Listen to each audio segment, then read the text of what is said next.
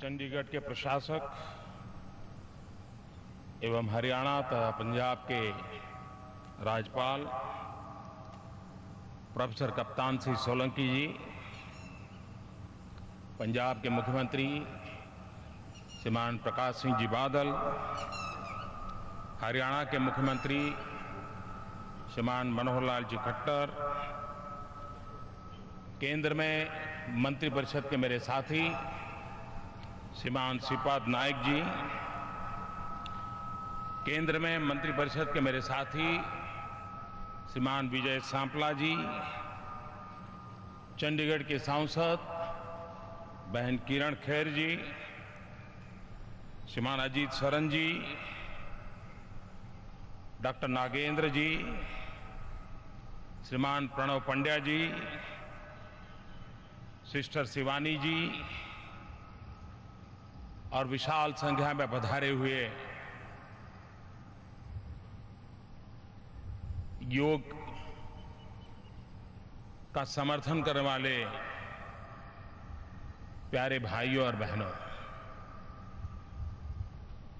इस समय देश के हर कोने में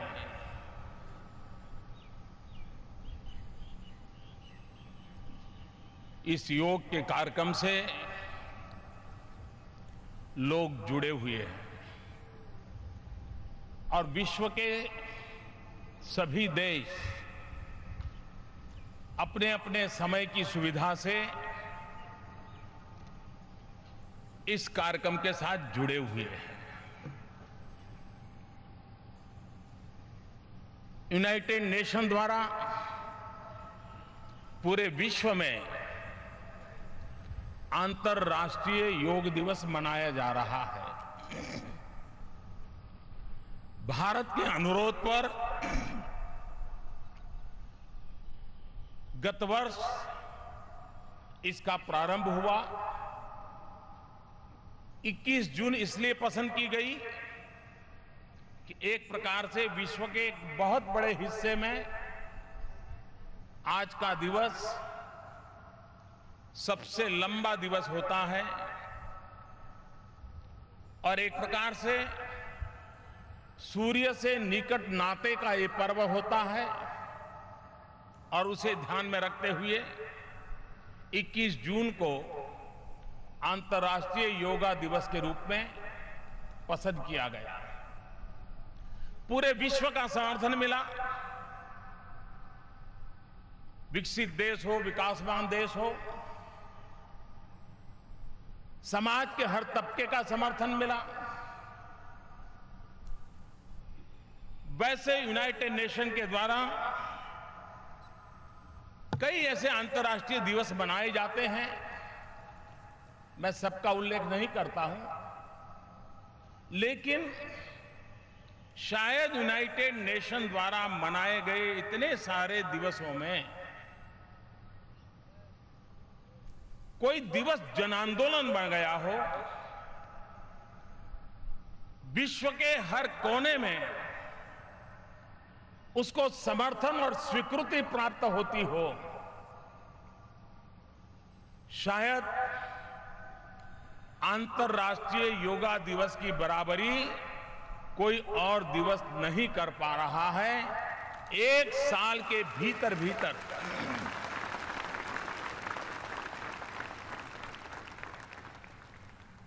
अंतर्राष्ट्रीय अनेक कार्यक्रम होते हैं। यूएन के द्वारा वर्ल्ड कैंसर डे होता है। वर्ल्ड हेल्थ डे होता है। वर्ल्ड मेंटल हेल्थ डे होता है। वर्ल्ड एज डे होता है। अनेक और भी कई। हेल्थ को लेकर के भी अनेक विध दिवस यूएन के द्वारा मनाए जाते हैं। लेकिन यही है, जिसका सीधा संबंध हेल्थ के तो साथ है, शारीरिक, मानसिक, सामाजिक तंदुरुस्ती के साथ संबंध है, वो ये योग आज इतने बड़े पैमाने पर जन सामान्य का आंदोलन बना बना है, और मैं समझता हूँ कि ये हमारे पूर्वजों ने हमें जो विरासत दी है, इस विरासत की ताकत क्या है?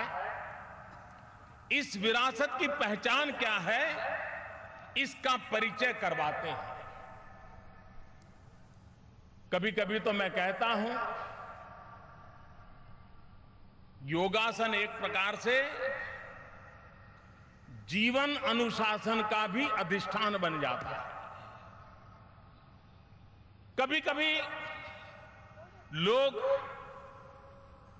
इसको समझने में उनकी क्षमता की कमी के कारण पूरी तरह समझ नहीं पाते। कभी कभी लोगों को लगता है योगा से क्या मिलेगा? ये पूरा विज्ञान लेने पाने के लिए है ही नहीं। योग क्या मिलेगा इसके लिए नहीं है? योग मैं क्या छोड़ पाऊँगा? मैं क्या दे पाऊँगा? मैं किन किन चीज़ों से मुक्त हो पाऊँगा? ये मुक्ति का मार्ग है, पाने का मार्ग नहीं है।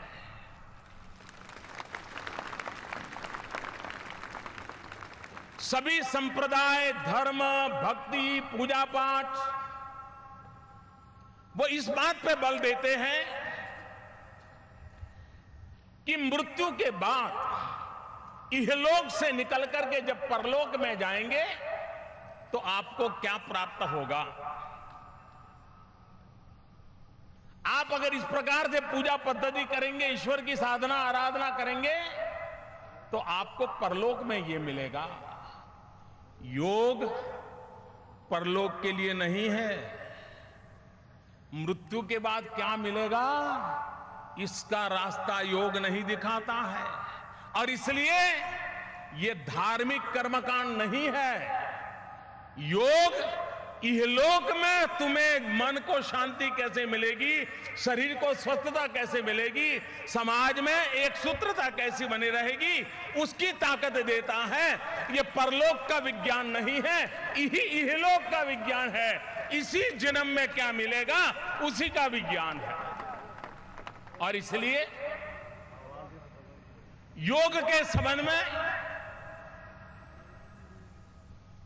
शरीर, मन, बुद्धि, आत्मा, ये सिंक्रोनाइज वे में काम करें।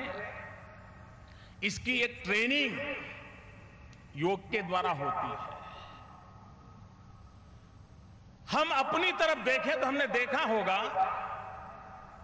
कि हम चले या न चले हम स्फूर्तिले हो या आलसी हो, थके हुए हो या ऊर्जावान हो, हमारा शरीर कुछ भी हो सकता है। ढीला ढाला ऐसे ही, चलो छोड़ो यार, कहाँ जाएँगे वहाँ बैठो। लेकिन मन मन कभी स्थिर नहीं रहता है। वो तो चारों तरफ़ चक्कर मारता है, यहाँ बैठे हो और आपके अमृतसर याद आ जाए तो वहाँ चले जाएँगे। आनंदपुर साहब याद आएगा तो वहाँ चले जाएँगे, मुंबई याद आएगा तो वहाँ चले जाएँगे। कोई दोस्त याद आया तो उसके पास मन चला जाएगा। मन अस्थिर होता है, शरीर स्थिर होता है। ये योग है, जो हमें सिखाता है मन को स्थिर कैसे करना और शरीर को गतिवान कैसे बनाना? यानी हमारी मूलभूत प्रकृति में परिवर्तन लाने का काम योग के द्वारा होता है, जिससे मन की स्थिरता की ट्रेनिंग हो और शरीर को गतिशीलता की ट्रेनिंग मिले। और अगर ये बैलेंस हो जाता है तो जीवन में ईश्वर दत्त जो ये हमारा शरीर है, वो हमारे सभी संकल्पों की पूर्ति के लिए उत्तम माध्यम बन सकता है। और इस अर्थ में, योग आस्तिक के लिए भी है, योग नास्तिक के लिए भी है। ज़ीरो बजट से दुनिया में कहीं पर भी हेल्थ इंश्योरेंस नहीं होता है। लेकिन योग ऐसा है जो ज़ीरो बजट से हेल्थ एश्योरेंस देता है। योग को अमीर, गरीब का भेद नहीं है। विद्वान, अनपढ़ का भेद नहीं है। गरीब से गरीब व्यक्ति भी, अमीर से अमीर व्यक्ति भी योग आसानी से कर सकता है। किसी चीज़ की ज़रूरत नहीं है। एक हाथ फहराने के लिए कहीं जगह मिल जाए, वो अपना योग कर सकता है और अपने तन, मन को तंदुरुस्त रख सकता है। भारत जैसे गरीब देश, दुनिया के गरीब देश, डेवलपिंग कंट्रीज़, उनका हेल्थ का बजट अगर प्रिवेंटिव हेल्थ केयर पर बढ़ दिया जाए तो काफ़ी बचाया भी जा सकता है और सही काम में उपयोग भी लाया जा सकता है। और इसलिए प्रिवेंटिव हेल्थ केयर के जितने उपाय हैं, उसमें योग एक सरल, सस्ता और हर किसी को उपलब्ध ऐसा मार्ग है। और इसलिए योग को जीवन से जोड़ना ज़रूरी है। बहुत लोग होंगे, अगर आज जल्दी उठ गए होंगे तो हो सकता है टीवी पर देखते हो, या दिन भर में उनको टीवी पर यह कार्यक्रम देखने का अवसर मिले। मैं विश्व भर के लोगों से प्रार्थना करता हूँ, आप खुद के लिए, खुद से जुड़ने के लिए, खुद को जानने के लिए खुद की क्षमता को बढ़ाने के लिए मैं आपसे आग्रह कर रहा हूँ, इंतज़ार मत कीजिए। इस जीवन में योग को जीवन का हिस्सा बना दीजिए। जिस प्रकार से आज मोबाइल फ़ोन आपके जीवन का हिस्सा बन गया है, उतनी ही सहजता से आप योग को अपने जीवन का हिस्सा बना सकते हैं। कोई कठिन काम नहीं है, उसको सरलता की ओर ले जाने की ज़रूरत है। कभी कभी हम लोग योग के संबंध में जब चर्चा करते हैं तब ब्राज़ील में एक धर्म मित्र योगी हो गए। उनका दावा था कि योग के एक हज़ार आठ आसन होते हैं। एक हज़ार आठ। और उन्होंने प्रयत्न करके 908 आसनों की तो फोटोग्राफी की थी, उस क्रियाओं की। ब्राज़ील में जन्मे थे, योग को समर्पित थे। दुनिया के हर भूभाग में आज योग प्रतिष्ठा का विषय बना हुआ है। और जब योग का आकर्षण हो, योग की प्रतिष्ठा हो तब जिस महापुरुषों ने, ऋषियों ने, मुनियों ने हमें ये विज्ञान दिया है, हमारी जिम्मेवारी बनती है, इसको सही स्वरूप में हम विश्व तक पहुंचाएँ। हम अपनी कैपेसिटी बिल्डिंग करें। भारत से उत्तम से उत्तम योग टीचर तैयार हो। अभी भारत सरकार ने गुणवत्ता के लिए जो काउंसिल होती है क्वालिटी काउंसिल उसने योग की ट्रेनिंग कैसे हो, योग के ट्रेनर कैसे हो, उसकी कुछ नॉर्म्स तय करने की दिशा में काम किया है। भारत सरकार ने डब्ल्यूएचओ के साथ मिलकर के पूरे विश्व में योग के प्रोटोकॉल क्या हो, वैज्ञानिक तरीके क्या हो, उस पर काम प्रारंभ किया है।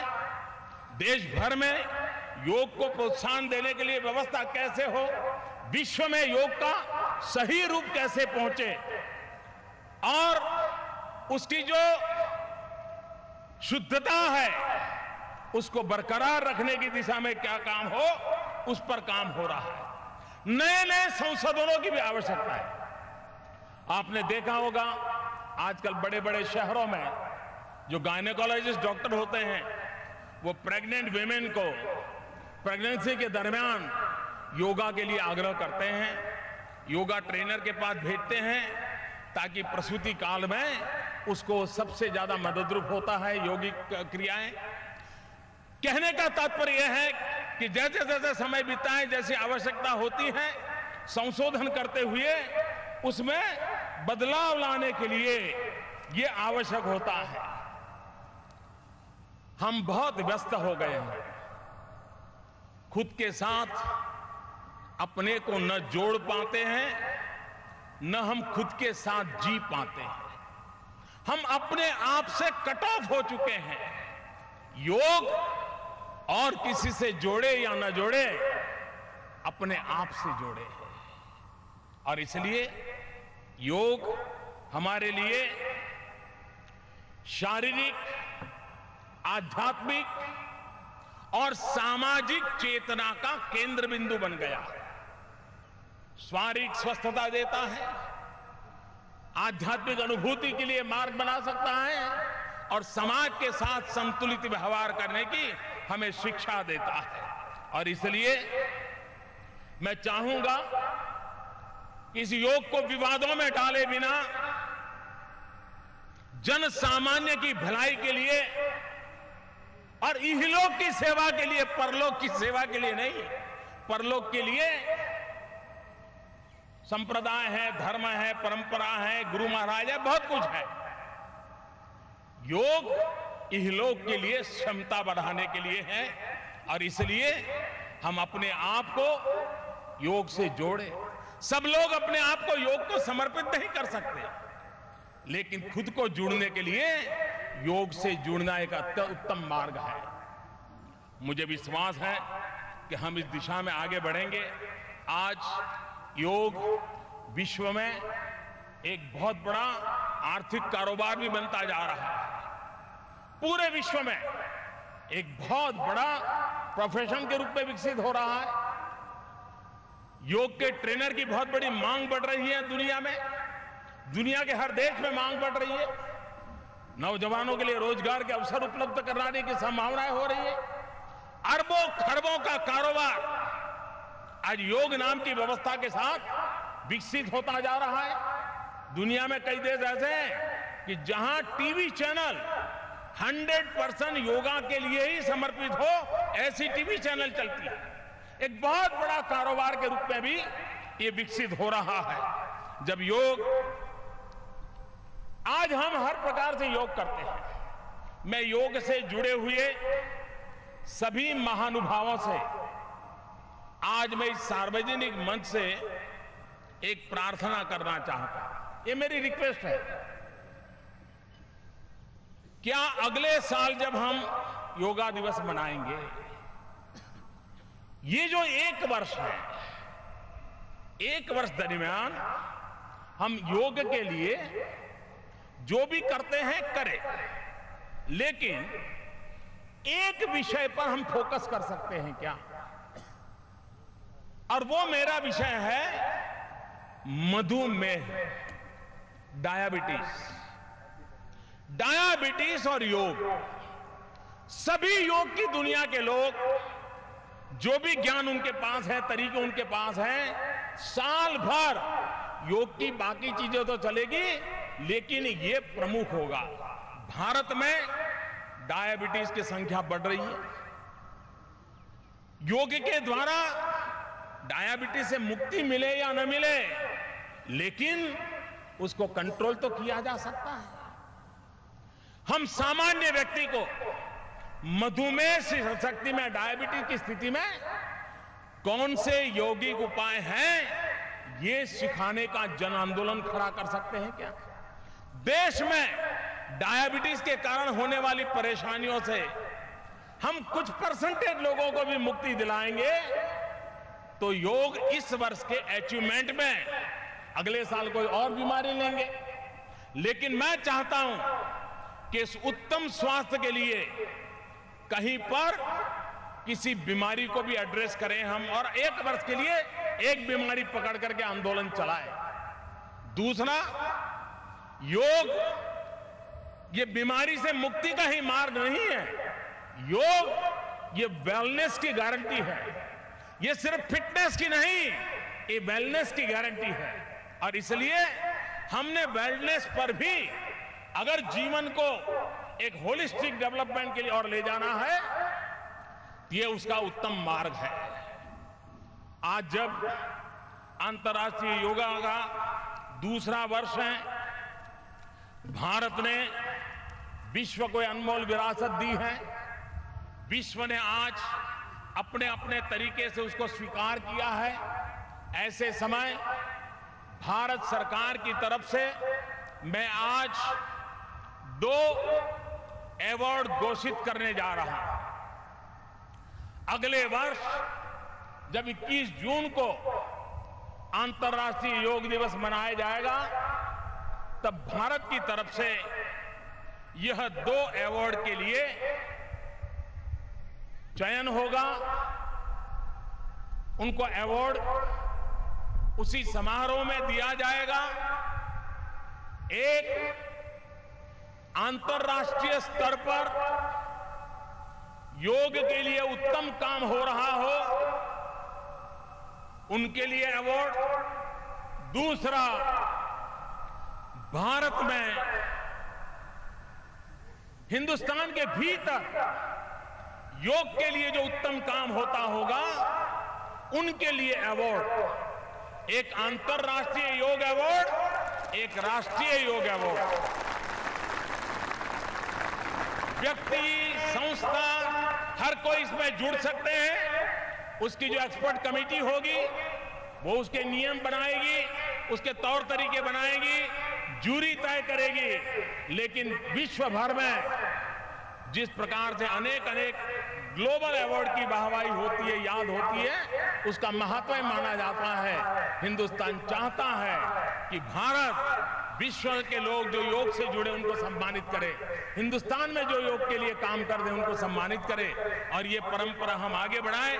धीरे धीरे इसको राज्य और डिस्ट्रिक्ट तक भी हम ले जा सकते हैं। तो उस दिशा में हम काम करने के लिए प्रयास कर रहे हैं। मैं फिर एक बार पूरे विश्व का भारत की इस महान विरासत को सम्मानित करने के लिए स्वीकार करने के लिए भारत की इस महान परंपरा के साथ जुड़ने के लिए मैं हृदय से विश्व का आभार व्यक्त करता हूँ।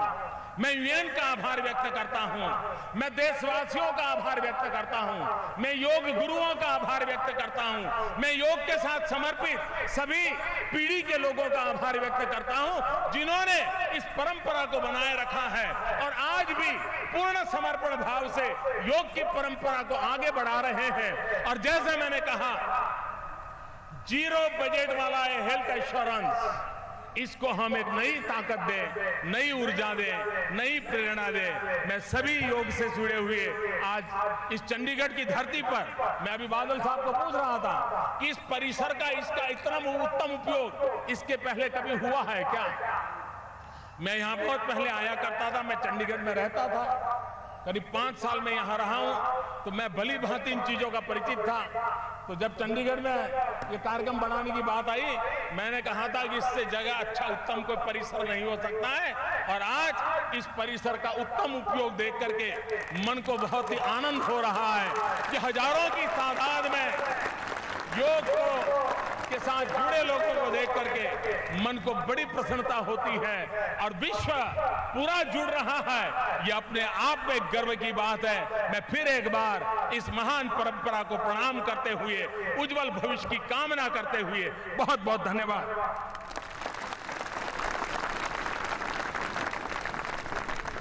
बहुत बहुत धन्यवाद, माननीय प्रधानमंत्री जी। योग मन प्रसमन उपाय। मन को नियंत्रित करके शांत रखने का उपाय योग है। आइए, अब हम योग के लिए तैयार हो जाएँ। यहाँ पर योग का लाइव डेमोन्स्ट्रेशन किया जाएगा। आपसे निवेदन है कि कृपया आपके सामने लगे एलईडी स्क्रीन पर देखकर आप योगासन करेंगे।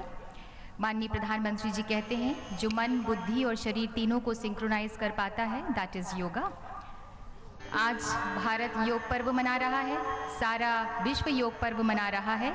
विश्व को अपना बनाने विश्व का भला करने के लिए, वसुधैव कुटुंबकम को सच्चरितार्थ करने के लिए भारत की विरासत विश्व को जोड़ने का काम कर रही है। आगे की कार्रवाई, मैं सामने वाले मंच जो मेरे बाई ओर है, उसके सुपुर्द कर रही हूँ, जहाँ से योग का लाइव डेमोन्स्ट्रेशन किया जाएगा।